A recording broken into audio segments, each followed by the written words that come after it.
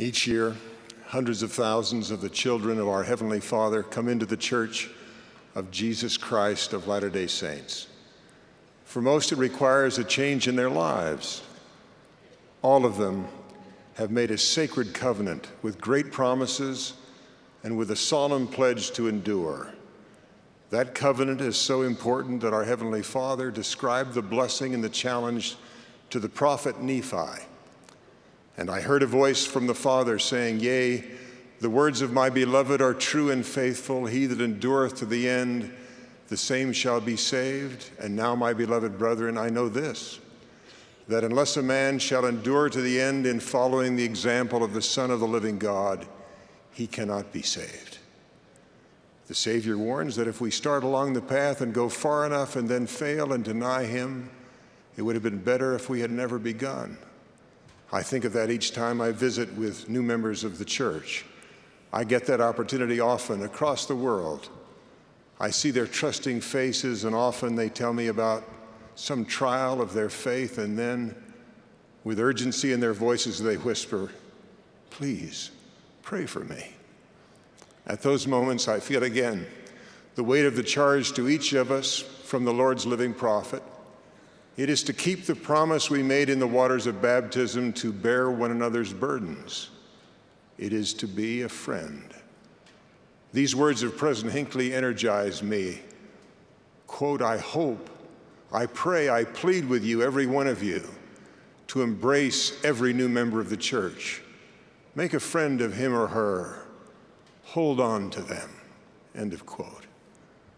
President Hinckley can't be there as a friend for every new member but you can be there for at least one.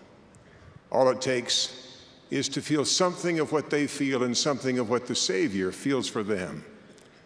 Try to feel the heart of a young man, Kosiabo Edi Lupathia, in Africa, writing about his friend. Two and a half years prior to my joining the church in 1999, my good friend Umbuto Yono looked me up. We had been friends through grades 5 to 12, then were separated when we attended different schools. Umbuti was baptized in April 1999, and four weeks later, he visited me at home and introduced the gospel to me. Regardless of the rumors about the church, I was impressed by the fellow saints who gave me a warm welcome on my first visit. It was this same Sunday that my friend introduced me to the missionaries. Arrangements were made to be taught. My friend was there for every discussion, and he kept inviting me to the activities. I really enjoyed being around people with the same values, interests, standards, and goals. It was uh, doing this during this same time period that I began attending Institute of Religion. It all seemed very natural. Thursday nights, 5:30, missionary discussion, followed by Institute. I learned a lot in Institute and especially enjoyed our class about how to achieve a celestial marriage. The first semester ended in May, shortly after I began attending, and I felt cheated. But I was fortunate enough to catch the second semester class, Teachings of the Living Prophets. While in Institute, I bought myself the four standard works, and I continued to learn and grow in the church line upon line, precept upon precept, here a little and there a little. I was baptized September 17th, 1999, by another friend I had made while attending Institute. I am thankful for the Institute program. It has not only shaped me, but it also helped me to qualify to become a missionary, which mission I started preparing for five months after my baptism. I have been blessed with many opportunities to serve and to teach prior to my mission. I am thankful for my friend. I hope he realizes what he has done for me. We have both served missions. I to South Africa, Durban, he to South Africa, Cape Town. All it takes is a friend to bring such a mighty change in one's life. Now, there seems to be nothing miraculous in that story, but there is a mir- miracle of wisdom beyond human capacity. Perhaps because Umbuti had walked the path himself, or perhaps by revelation, he knew what his friend would have to do to endure. And so he knew how to lift and help. He introduced his friend to the missionaries. He saw that his friend was baptized and received the gift of the Holy Ghost. He took his friend even before baptism to where he would study the scriptures and thus be nurtured by the good word of God, even before baptism he helped his friend discover this promise Wherefore I said unto you, Feast upon the words of Christ, for behold, the words of Christ will tell you all things what ye should do. The words must have told him to buy scriptures, which he did. At baptism, Brother Lupatha received the gift of the Holy Ghost to serve as his constant companion as long as he invited it and lived worthy of it. That assured him of another promise. For behold, again I say unto you that if ye will enter in by the way and receive the Holy Ghost, it will show unto you all things what you should do. The Holy Ghost must have told him to begin to prepare for a mission, which he did. We do not know which friends went with him to his sacrament meetings both before and after baptism, but some must have greeted him warmly as they did on his first visit. There he renewed his covenant to always remember the Savior, to keep his commandments, and to receive again the promise of the companionship of the Holy Ghost. We don't know what part his friends had in his calls to serve and to speak, but we can be sure that they thanked him and told him when they felt the Spirit in his service and in his teaching. We can know something of his private life.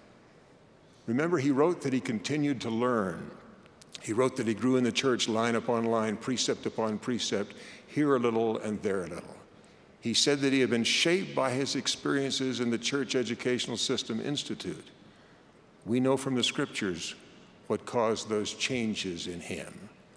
He had to be praying with faith in the Savior.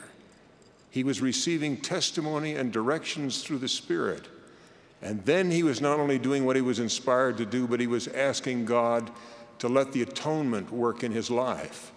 Nephi, describing that miracle of change and what brings it, said this And now, my beloved brethren, I perceive that ye ponder still in your hearts that it grieveth me that I must speak concerning this thing. For if ye would hearken unto the Spirit, which teacheth a man to pray, ye would know that ye must pray. For the evil spirit teacheth not a man to pray, but teacheth him that he must not pray. But behold, I say unto you that ye must pray always and not faint that ye must not perform anything unto the Lord, save in the first place ye shall pray unto the Father in the name of Christ, that he will consecrate thy performance unto thee, that thy performance may be for the welfare of thy soul. The Holy Ghost is a comforter and a guide, but it is also a cleansing agent. That is why service in the kingdom is so crucial to enduring when we are called to serve we can pray for the Holy Ghost to be our companion with assurance it will come. When we ask in faith, a change can come in our natures, both for the welfare of our souls and to strengthen us for the test we almost face. There are limits on what friends can do to help the ones who must endure. It is the new members who must pray. It is they who must rely on the strength they will receive in answers to their prayers they must choose for themselves in faith to be baptized, trusting in their perfect friend, the Savior. They must choose in faith in Him to repent, to be humble and contrite. They must choose to receive the gift of the Holy Ghost. The words of confirmation of the church are an invitation receive the Holy Ghost. And that choice must be made not once, but every day, every hour, every minute. Even when the Holy Ghost comes and inspires them what they should do, doing it or not is a choice. Even when they read the scriptures regularly, it takes a choice to feast on the words of Christ. And even the feast is not nourishing without a choice to do what the words of Christ tell them to do. With faith and obedience practiced long enough, the Holy Ghost becomes a constant companion. Our natures change and endurance becomes certain. The member must make the choices, but the true friend is vital. There are important ways for us to share the new member's burden that it may be bearable. We can love, listen, show, and testify. First, we must love them. That is what the Savior does. We can do it with Him and for Him. He showed us the way in His mortal ministry. He taught by precept and example that we are to love His disciples. This is my commandment, that ye love one another as I have loved you. Greater love hath no man than this, that a man lay down his life for his friends. Ye are my friends if ye do whatsoever I command you. Henceforth I call you not servants, for the servant knoweth not what his Lord doeth, but I have called you friends. For all things that I have heard of my Father I have made known unto you.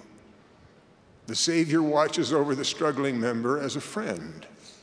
He laid down his life for all of us. He loves us and will grant us, if we are faithful, the gift of feeling a part of his love for them. I have at times been blessed by the Holy Ghost to sense the Savior's love for a struggling new member. I know for myself that is possible. Second, we must listen to the new member with understanding and empathy. That also will take spiritual gifts, since our experience will rarely parallel theirs. It will not be enough to say, I understand how you feel, unless we do. But the Savior does. He is prepared to help you be a friend who understands even those you have just met if you ask in faith. Before he was born, prophets knew what he would do to be able to help you be a friend for him. And he shall go forth suffering pains and afflictions and temptations of every kind. And this that the word might be fulfilled, which saith, He will take upon him the pains and the sicknesses of his people and he will take upon him death that he may loose the bands of death which bind his people. And he will take upon him their infirmities, that his bowels may be filled with mercy according to the flesh, that he may know according to the flesh how to succor his people according to their infirmity, infirmities. Third, we must be an example for the new member. We can feast upon the Word of God. We can ask for and live for the companionship of the Holy Ghost we can be obedient out of our faith in Jesus Christ. And in time, we can become an example of a disciple who is born again through the atonement. It may be gradual, it may be hard for us to discern in ourselves, but it will be real. And it will give hope to the new member and to all those we befriend on the path to eternal life. Fourth, we must testify of the truth to the new member. It must be sincere and it is best when it is simple. It is most helpful when it is about the reality and mission of the Savior, about our Heavenly Father's love, and of the gifts and companionship of the Holy Ghost. And it is essential to testify that the Father and the Son appeared to the young Joseph Smith and to the full gospel, and the true church have been restored by heavenly messengers. The Holy Ghost will confirm those simple declarations as truth. The new member will need that confirmation again and again, even when we are not there to testify. Should they choose to reject the companionship of the Holy Ghost, he or she will not endure, but that is true for all of us, wherever we are and however faithful we have been. All of us will be tested, and all of us need true friends to love us, to listen to us, to show us the way and to testify of truth to us so that we may retain the companionship of the Holy Ghost. You must be such a true friend. I can still remember as if it were today friends who touched my life for good long ago. They are gone, but the memory of their love, example, faith, and testimony still lift me. And your friendship to even one new member may, in this life and in the next cause hundreds or even thousands of their ancestors and their descendants to call you blessed. This is the true church of Jesus Christ. He lives. He loves you. And he, those, he loves those whom you must serve and who will become your true friends forever in the sacred name of Jesus Christ. Amen.